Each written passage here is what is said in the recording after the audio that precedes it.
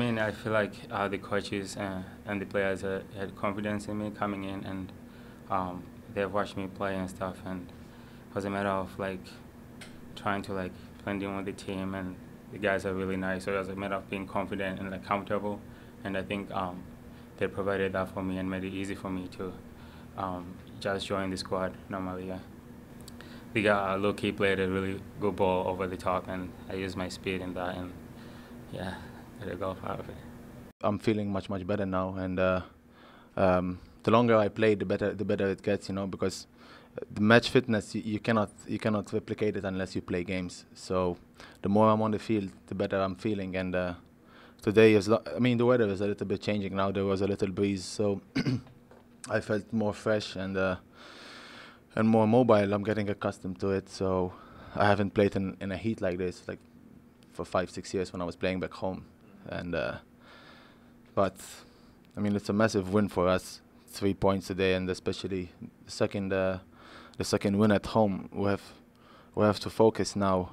I try to give my hundred percent every time I step on the field, and uh, every time the coach have has faith in me to do a job, I try to do it. And uh, I mean, I believe everybody is important, and but this is a team that that plays more my game, so I have more chances to to kind of show what I can do uh, because you know kind of alone you cannot do miracles but for example when the whole team moves you create chances. And this is why I love this team going forward because we move a lot and, and we create chances. So I'm hoping I'm hoping to start making a difference but in order for me to do that I am I have to um, I have to adjust myself first to be able to help others.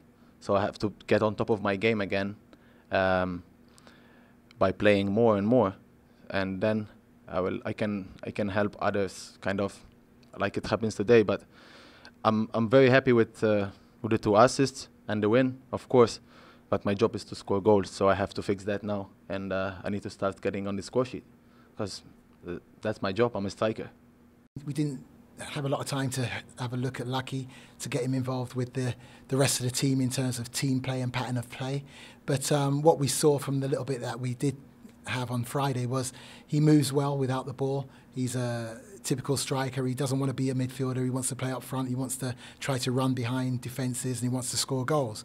And it was evident at the end there, the run he made to, to get to the ball first and foremost was tremendous. Then the composure that he showed to stand the defender up and then to take the defender on and drive into the box before putting in the cross come shot. Um, and I'm delighted for him to make that kind of impact and also for the team because it's that little bit of luck that we haven't had in recent times and it's nice to be on the right end of some luck, uh, particularly at home. And what Etienne does bring is he can allow us to, to have some form of control of the ball higher up the field. Where We were allowed then to players to join him.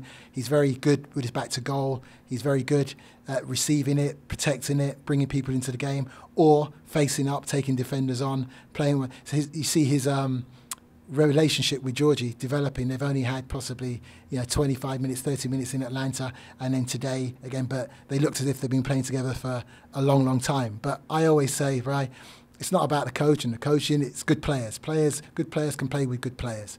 And I have, I'm fortunate at the moment that I have the likes of Etienne and, and Georgie and Evans and Lucky now and, and Luke. All those guys are good players. And Carl, so I'm hoping that if everyone stays fit, we can be a force for the remainder of the season offensively.